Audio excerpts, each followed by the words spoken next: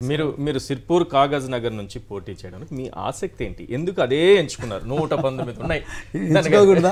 సిర్పూర్ దానికి కాగజ్ నగర్ కారణం ఒకటి ఎంచుకోకూడదా? ఉండాలి కదా దాని వెనుక ఏదో ఒక రీజన్ ఉంటుంది కదా. బలమైన రాష్ట్రానికి కారణం ఉండాలి కార్నర్ కదా. గా ఉన్నటువంటి ఒక ఏరియాని సెలెక్ట్ చేసుకున్నారు. అవును కార్నర్లో ఉన్నదాన్ని కూడా కార్నర్లో ఉన్నదాన్ని సెలెక్ట్ చేసుకోవాలి. ఎందుకంటే కార్నర్లో ఎప్పుడు చీకటి ఉంటుంది. సిర్పూర్ కార్నర్లో ఉండడం కాదు. దోపిడీ పాలనలో అణిచివేయబడ్డది.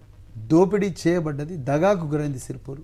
తెలంగాణలో ఇంకా భాగమైందని నేను అనుకోవట్లేదు సిర్పూర్ ఎందుకు చెప్తున్నా ఈ మాట అంటే నేను ఆంధ్ర ప్రాంతం నుంచి వలస వచ్చి ఇక్కడికి వలసలు తప్పని నేను అంటలేను. తెలంగాణలో పోయి ఆంధ్రలో బతకొచ్చు ఆంధ్రలో వచ్చి తెలంగాణలో బతకొచ్చు ఇద్దరు పోయి గుజరాత్లో బతకొచ్చు తప్పు కాదు. కానీ ఆంధ్ర ప్రాంతం నుంచి వలస వచ్చిన కొంతమంది భూస్వాములు ఇక్కడి ప్రజల అమాయకత్వాన్ని ఆసరగా తీసుకొని ఘోరంగా వాళ్ళ భూములన్నీ కూడా ఆక్రమించి అక్రమంగా నోటిఫైడ్ భూములు కూడా ఆక్రమించి వాళ్ళందరినీ తమ గుప్పిట్లో పెట్టుకొని ఇక్కడున్న సంపద అంతా దోచుకొని మళ్ళీ ఆంధ్ర ప్రాంతానికి పంపించేసారు నేను అది ఏమంటున్నట్టే తెలంగాణలో పుట్టిన సిర్పూర్ బిడ్డలకు వాళ్ళకెందుకు ఆ కాంట్రాక్ట్లు ఇవ్వకూడదు? వాళ్ళకెందుకు ఆ ఉద్యోగాలు ఇవ్వకూడదు?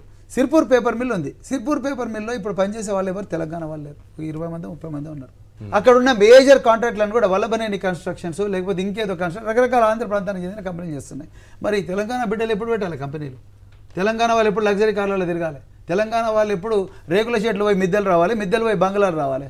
వాళ్ళు ఇంకా ఒక్క ఊరికి కూడా రోడ్డు సక్కలేదండి ఎక్కడ కూడా లేదు. మొత్తం కూడా దాగా గురైంది. అడిగిన వాళ్ళందరి మీద పోలీస్ కేసులు. చివరికి ప్రవీణ్ కుమార్ మీద పోలీస్ కేసు పోలీస్ స్టేషన్ ముందట ఒక ఐపీఎస్ ఆఫీసర్ ధర్నా కూడా ఎస్ అడిషనల్ డీజీగా ఇరవై ఆరు సంవత్సరాల సర్వీస్ అడిషనల్ డీజీగా రిటైర్ అయిన ప్రవీణ్ కుమార్ మీద కోనేరు కోనప్ప పెట్టిన కేసు ఏం తెలుసా? ఇరవై ఐదు వేల రూపాయల దొంగతనాన్ని ప్రవీణ్ కుమార్ చేసిండు. ఏం జరిగింది సార్? ఇరవై ఐదు వేలు నిజంగానే? మీరే? డిసైడ్ ఆ కేసు చేయాలి ఏంటి? రెండు లక్షల అరవై మూడు వేల రూపాయల జీతం తీసుకొని రిటైర్ అయిన ప్రవీణ్ కుమార్ పెన్షన్ తీసుకుంటున్న ప్రవీణ్ కుమార్ ఇరవై ఐదు వేల రూపాయల దొంగతనాన్ని ఢిల్లీ స్కూల్ ఆఫ్ ఎకనామిక్స్లో పిహెచ్డి చేస్తున్న వాళ్ళ కొడుకుతోని ఇద్దరు కలిసి పది మంది అనుచరులను తీసుకొని డెకాయిటీ చేసిండట దారి దోపిడీ చేసి ఆ వ్యక్తిని గొంతు నిలిపి చెప్పడానికి ప్రయత్నం చేసిండని కేసు పెడితే చప్పనంగా త్రీ నాట్ సెవెన్ కింద సార్ పోలీసింగ్ ఇంత దారుణంగా ఎందుకు సార్ ఒక ఐపీఎస్ ఆఫీసరే న్యాయం లేకుండాని ఒక పోలీస్ స్టేషన్ ముందు ధర్నా చేయాల్సిన పరిస్థితి చాలా బాధ. నాకైతే చాలా బాధ అనిపించింది. నేను పోలీసుగా ఐపీఎస్ ఆఫీసర్గా ఇంతమందిని చూసిన తర్వాత ఆ కేసు కట్టినప్పుడు మీకు ఏమనిపించింది? చాలా బాధ అనిపించింది. ఎందుకంటే నేను ఎప్పుడు చేయలేదు ఆ పని. ఎప్పుడు కూడా నేను కాకినాడలో నా ట్రైనింగ్ మొదలుపెట్టినప్పటి నుంచి నేను రిటైర్ అయ్యే నాటికి అంటే వాలంటరీగా రిటైర్మెంట్ తీసుకున్న నాటికి ఎప్పుడు కూడా నేను ఇట్లాంటి ఘోరమైన కేసులు పెట్టలేదు. అటువంటి రాజకీయపరమైన ఒత్తిళ్ళు ఎప్పుడైనా ఎదుర్కొన్నారు మీ సర్వీసులో? లేదండి. లేదు. చాలా మంది ముఖ్యమంత్రి జిల్లాల్లో ఎస్పీలుగా చేశారు డిఐజీ గారు చేశారు అడిషనల్ లేదండి అందుకొరకే నాకు ఇంత మంచి పేరు ఉందండి. అందుకొరకే వీడిని- ఇప్పుడు మొండి వ్యక్తి అంటే మీరు ఎవరి మాట వినరని మీకు ఎవరు చెప్పేవారు కాదా? లేకపోతే అలాంటి కాలేదు మా అప్పుడు అంటే పోలీసింగ్ మా అప్పుడు ఇంత దిగజారలేదండి. నిజం.